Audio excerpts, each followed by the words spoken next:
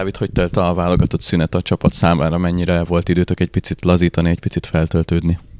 Jó volt egy kis pihenés, amikor visszatértünk a, az edzés munkához, akkor az jó hangulatba telt, de hát ez nem lehet öncélú, hanem azt a célt kell szolgálja, hogy az előttünk lévő akadályokra felkészüljünk.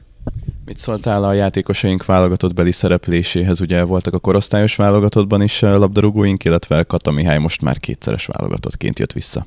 Igen, mindannyiukat figyelemmel kísértük, ugyanúgy, ahogy a reflektorfénybe került Katamisit, ugyanúgy a, a Kovács Patrikot, aki az U19-es válogatottnál játszott, három mérkőzés, nagyon nagy terhelés alatt volt.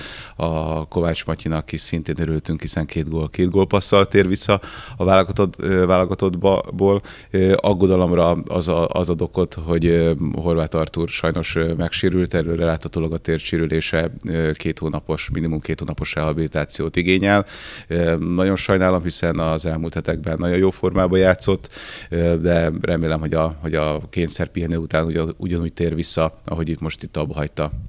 Hogy fogunk készülni a Geszte elleni kupa mérkőzésre? Mennyire tudunk ilyenkor videókat elemezni, készülni mondjuk az ellenfélből, vagy inkább az ilyen mérkőzéseken a saját játékunkra kell koncentrálni?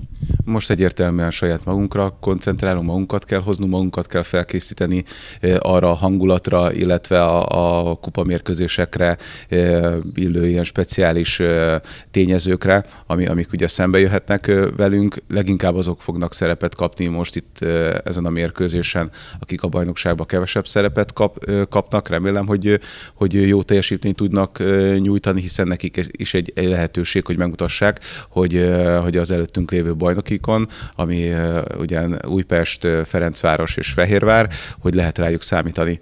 Én hiszem, hogy így van, de hát ugye meg kell mutatni a pályán.